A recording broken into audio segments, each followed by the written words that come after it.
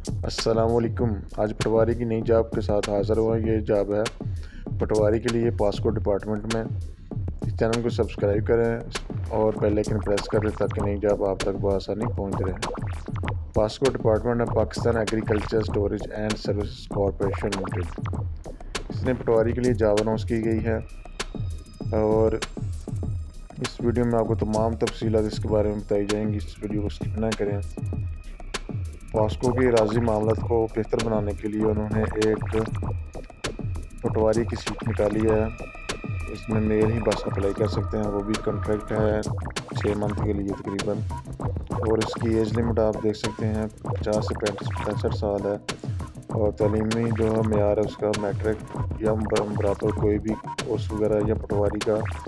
और उसके बाद इसका दस साल तजर्बा भी रखा गया है।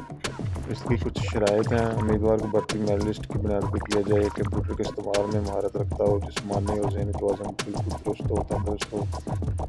उसके बाद दरख्वास्त के हमारा काबिल जो है, उसके शनाती कार्ड तो missile service certificate, passport size तस्वीरें और उसके बाद भर्ती पास इसी के मुताबिक किया जाएगा और मानना जो भी उसका पेमेंट वगैरह होगी, उसको रजामंदी के मुताबिक दी जाएगी।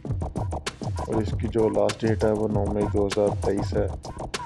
और इसकी जो एड्रेस आप देख सकते हैं, general manager H R Pakistan agriculture storage and services corporation limited PASSCO head office ग्यारह कश्मीर रोड लाहौर इन कॉन्टैक्ट नंबर है, मज़ीद तफसीत के लिए इस पर रबा करके आप रहनमाई हासिल कर सकते हैं। वीडियो देखने का बहुत शुक्रिया। अल्लाह हाफिज़।